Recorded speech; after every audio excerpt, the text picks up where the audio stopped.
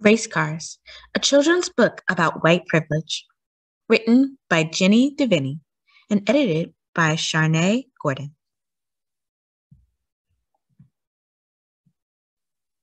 Race Cars, a children's book about white privilege.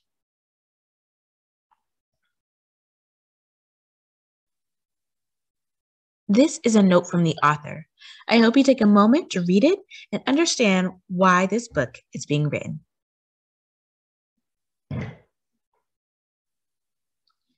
As a note, this is a Better Together book, a book that's best read together with a child and a grown up. This is Chase. Chase is a black race car. This is Ace. Ace is a white race car.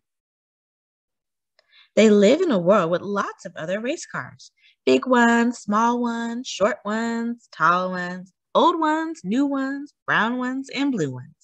Chase and Ace have been best friends forever. For as long as they can remember, they have been training together for the world famous annual race car race. Last year, they were finally old enough to enter the race. For as long as anyone could remember, every year when the big race came around, a white car would win the race. A white car would win fourth place, third place, second place, and first place. Until last year. Last year, Chase won first place and Ace won fourth place. Sometimes competition can come between friends, but not these two. Ace was so happy for Chase, and Chase was so happy for Ace. They loved to race, and they did not care about place. There were, however, some cars that did care about place. These cars were on the race committee no one had ever seen them, but everyone knew who they were. They were a group of white cars that made all the rules for the annual race car race. When the committee heard about Chase winning, they were not happy. A black car had never won first place, and they did not want things to change. We have given white cars the fastest tires and the most powerful engines, they roared. How could a black car have won? For the next race, the committee decided to change a few of the rules to make it easier for white cars to win and harder for all the other cars. All agreed except one, Grace. Something about it just didn't feel right to her. She was used to things not feeling fair after all. Grace was the youngest committee member and the only girl. But she didn't say anything because everyone else felt so strongly. The next year rolled around, and Chase and Ace were ready to race again. They spent all summer training and they knew the route by heart. Chase started off faster than ever. He zipped around the track as the crowd cheered him on. Go, Chase! Go, Chase! Once around the track, straight through the cornfield, over the blue mountain, through the magical forest. Chase was getting ready to cross the bridge when he noticed a sign that had not been there before. There's the magical forest. Bridge is for white cars only. All other cars must go around the river. Chase paused for a second. Hmm, that's strange, he thought. But he didn't want to waste any more time. Chase sped around the river as fast as he could and jumped over the finish line. Even without taking the bridge, Chase managed to come in second place. Ace came in first place. Ace was so happy for Chase, and Chase was so happy for Ace. They loved to race, and they did not care about place. Oh, looky, going around the river. But back at home, something was bothering Chase. It just didn't seem fair that the bridge was for white cars only. Was he not as good as the white cars? Was something wrong with him? He shrugged it off and decided to train even harder for next year. Back at Ace's house, Ace was snuggled up in bed smiling. He did not expect to be faster than Chase. In their practices, Chase was always fastest. I must be getting faster, he thought, and he drifted off to sleep, dreaming of next year's race car race.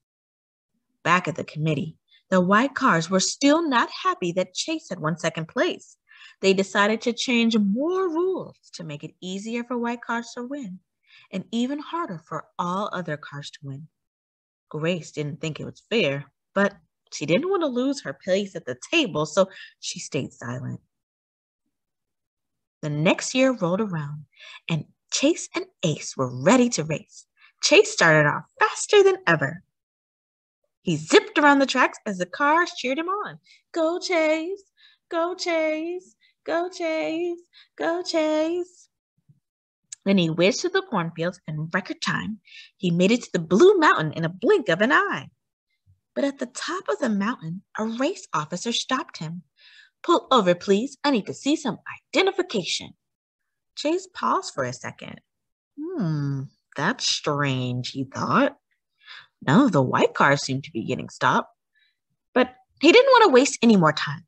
He showed the officer his identification and continued to, and continued the race through the magical forest. Chase sped around the river as fast as he could and jumped over the finish line. But because the race officer stopped him, Chase did not place, and Ace came in first instead. Chase was happy for Ace, but they were both upset about Chase's race. They loved to race and did not care about place, but the committee had just announced a new rule. Cars that did not place this year could no longer race next year. Next year, Chase would not be allowed to race. Seems unfair to me. Back at home, Chase was devastated. He didn't care about place, but he loved to race. What would he do now? Chase could not help feeling that he was not as good as the other cars.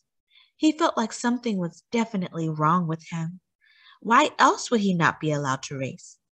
That night, Chase cried himself into a long, deep sleep. Back at Ace's house, Ace was snuggled up in bed, but something didn't feel quite right. He did not understand why Chase didn't place. He's the fastest car I know, thought Ace. Next year would not be the same without his best friend. Chase was the reason Ace liked to race in the first place. Ace sighed and shrugged his shoulders and drifted off into a long, deep sleep. Back at the building where the race committee held their meeting, Drace Grace tried to speak out against Chase being pulled over in the race. She knew it wasn't fair, and some of the committee members agreed, but others didn't. We need to change the rules of the race to make it fair and equal for all, Grace said softly. Yes, we agree, whispered two more cars. But most remained silent or ignored her. They were afraid of change, and they didn't want to lose their place at the table.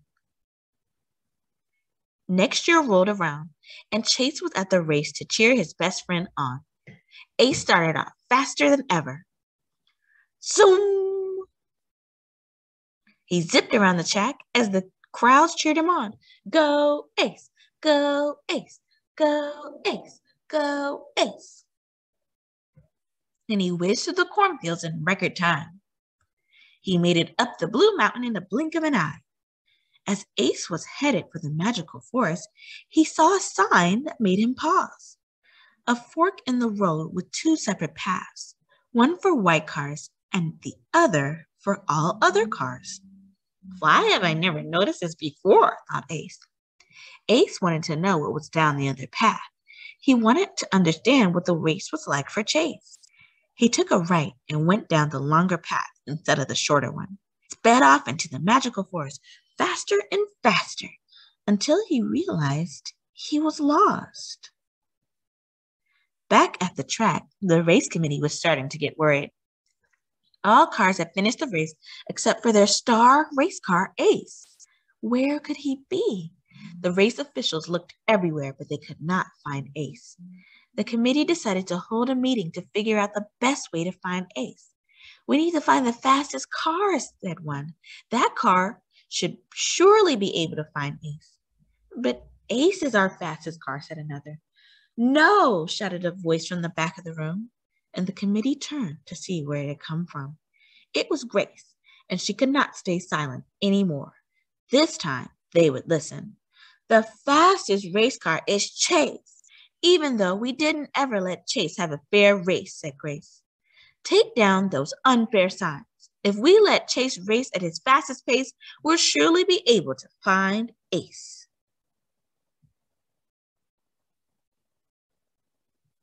Although Chase was still upset that the committee did not allow him to race this year, he quickly agreed to help save his best friend. Here I come, Ace, said Chase. He zipped around the track as the crowds cheered him on. Go, Chase! Go, Chase! Then he whizzed through the cornfields in record time. He made it up the Blue Mountain in the blink of an eye. When he got to the magical forest, he saw Ace speeding towards him. I'm so sorry. It took me so long to realize how much harder for you it is to win this race, Chase said. That Ace and the best friends embraced. Then together, Ace and Chase finished the race. The end. This part of the book is about discussing what you heard in the story with a grown up. You look at the questions and you think about your answer. Then you talk about it with a grown up. I'll read the questions and I hope you take some time to talk about them with a grown up.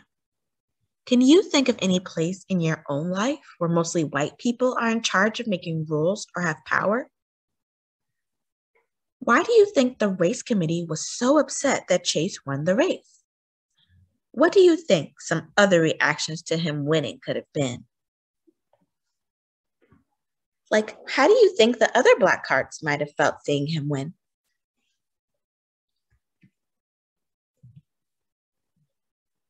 This is Jenny Devenny. She is the author of the book. This is her author's note. This is the editor of the book, Charnaie Gordon. This is the editor's note. I hope you take a moment to read both notes. The end.